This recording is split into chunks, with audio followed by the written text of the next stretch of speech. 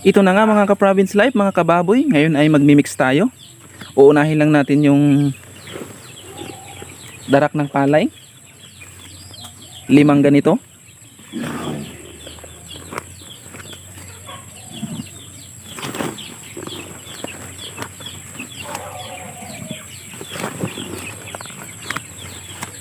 Four. Five. At lalagyan na natin ng PPC. Yan po yung itsura ng PPC mga kababoy, mga ka-province life.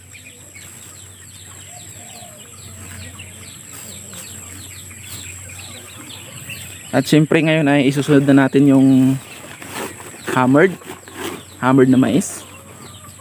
Ito po yung itsura niya ng mais na imimix natin.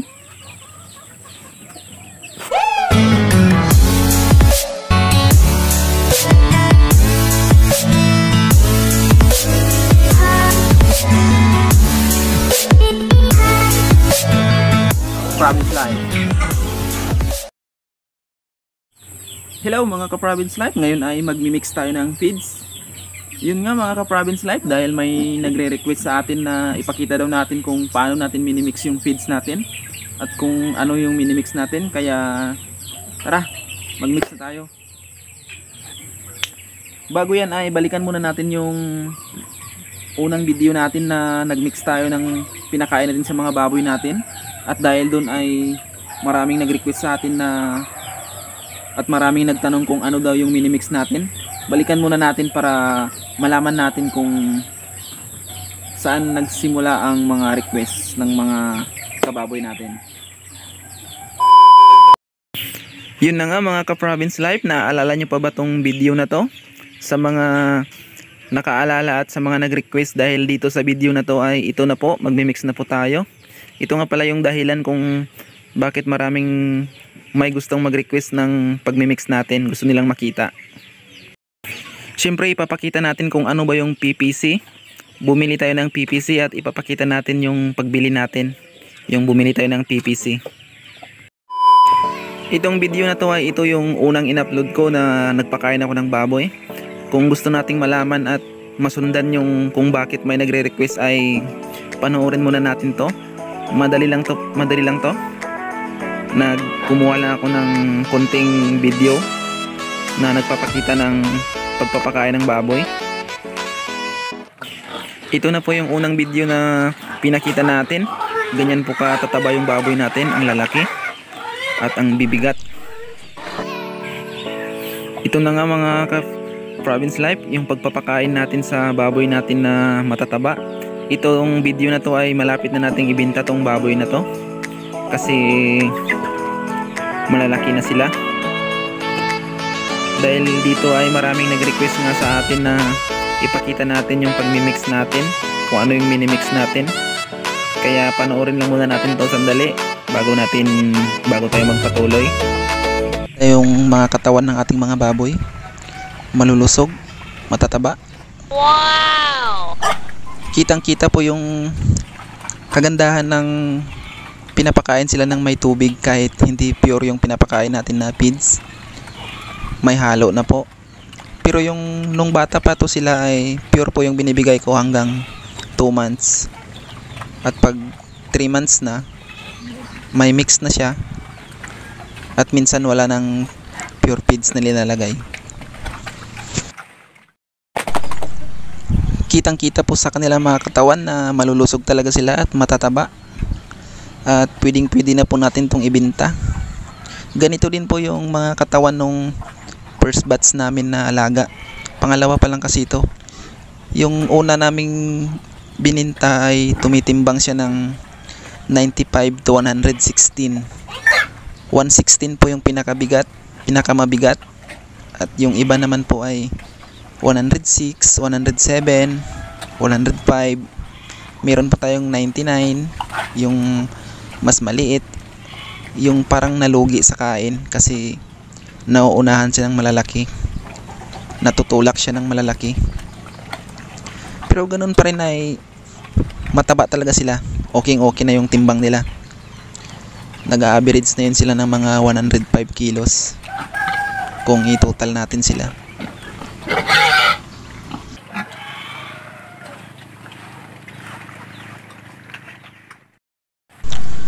Ito po yung pinapakain ko simula nung bata sila hanggang 2 months.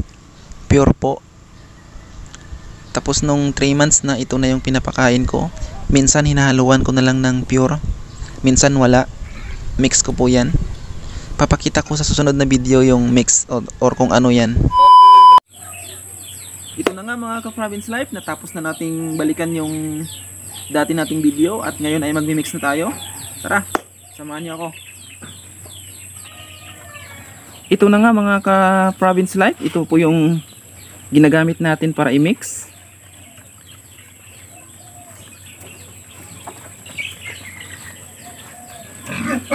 Ito po ay yung hammered na tinatawag naming hammered dito sa amin, yung mais. Hindi po ito yung darak, darak. Yung darak ay ito yung kasunod dito, yung yung darak ay parang wala ng laman. Ito kasi ay may mga laman pa ng mais. At ito naman yung darak ng palay. Ito yung darak ng palay. At ito naman yung tinatawag na PPC or pig protein concentrate. Pig protein concentrate. Ito po yung tinatawag na PPC. Ito po yung PPC mga kababoy. Bimig po yung binili natin. 42 po ang kilo. Lima lang po yung binibili ko kapag nagmi-mix ako ng 50 kilos na darak ng palay at 50 kilos na hammered. 5 kilo lang. Dito sa amin ay ang presyo ng darak ng palay ay 780 ang 50 kilos. Ito naman ay ang 50 kilos niya ay 850. Yun nga, sisimulan na natin yung pagmimix natin. Kahit saan po yung uunahin natin sa dalawa. Ito ay sa ganitong tabo ay lima yung nilalagay ko. Limang ganito.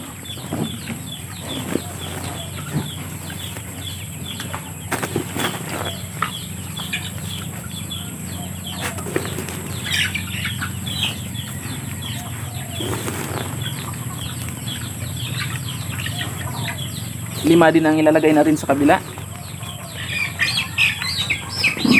Ito po yung darak ng palay.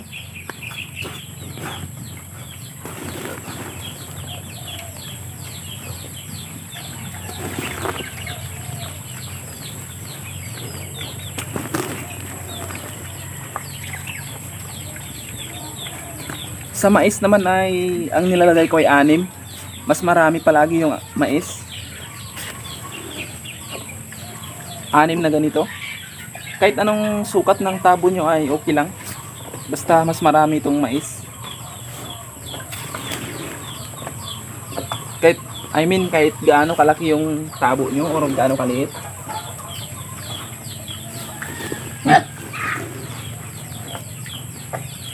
Four. Five. Six. Sa kabila ay anim din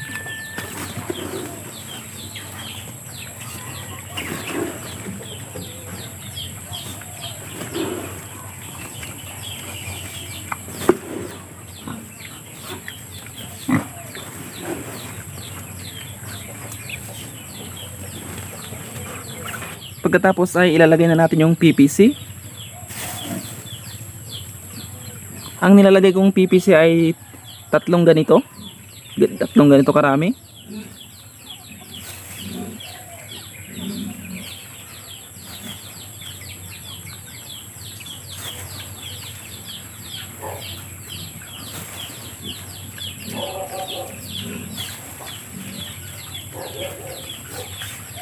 Siyempre kung mas marami eh, mas maganda.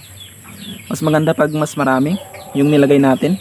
Kasi yun yung protein.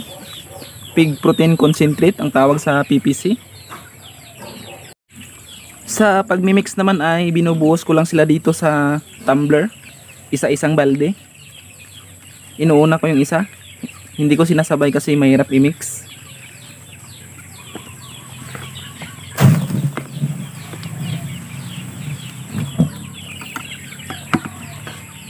Ganyan lang po mga ka-province life. Tapos imimix lang natin ng ganito. Ganito lang po yung pag-mix natin.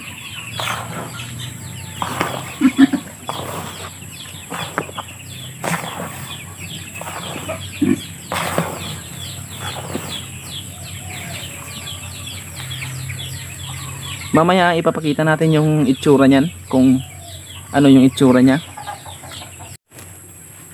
Yun nga mga kababoy, mga ka-province life dahil wala tayong videographer, tayo lang po yung nagblog solo lang po tayo. Kaya ganitong angle lang po yung kaya nating ipakita. Ito po yung ito po ulit yung darak ng palay. Lalagyan lang po natin ng limang tabo.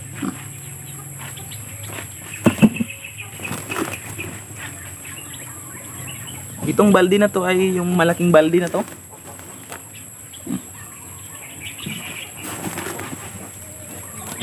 Apat. Lima. Saka pwede na natin ilagay yung PPC sa gitna.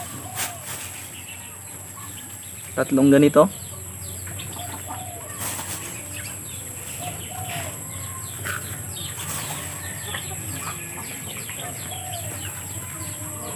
Tapos anim po dito sa ano?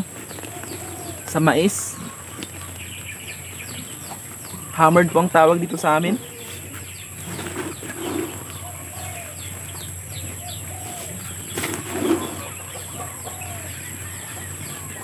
Tatlo. Apat.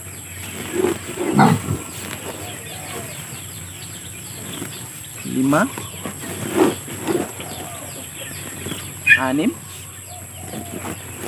Ganun lang po yung ginagawa ko mga kababoy.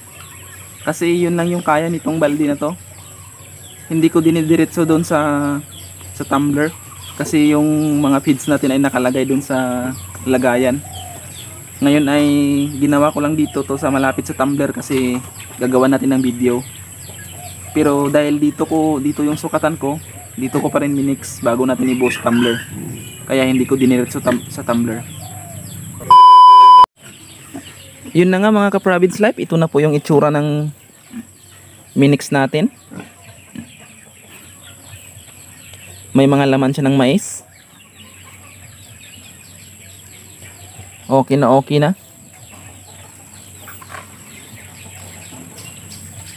Gustong gusto naman to ng baboy. Gustong gusto nila kasi bago na naman yung nalasahan nila. Salamat nga pala sa mga subscribers natin na mahigit 5,000 na po tayo. Salamat po sa patuloy na suporta. At sana po ay dumami pa tayo. At sana salamat din sa mga nag-share, nag-share ng video natin. At sa mga hindi pa po nag-subscribe dyan, saka pa-subscribe naman po at saka pa-like na rin po ng video natin. At para lagi po tayong updated sa mga darating nating video. Maraming salamat po mga Province Live.